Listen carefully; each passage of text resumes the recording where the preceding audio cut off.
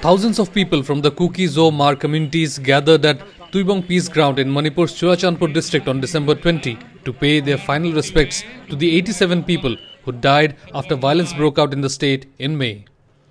Of the 87, 41 bodies were of the people that were kept at various morgues in Imphal and were airlifted by Indian Air Force helicopters on December 14, while the other 46 bodies were already lying at Churachandpur District Hospital.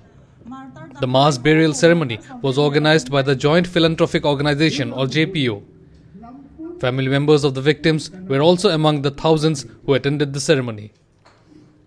Later, the victims were finally laid to rest at the Kuki Zo Martyrs Cemetery in Sehken.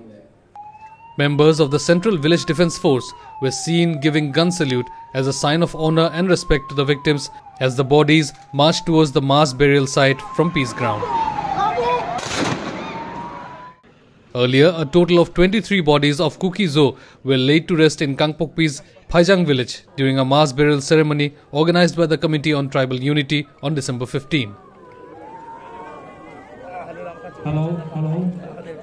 You sit in. You might not be waiting Pastor Hall.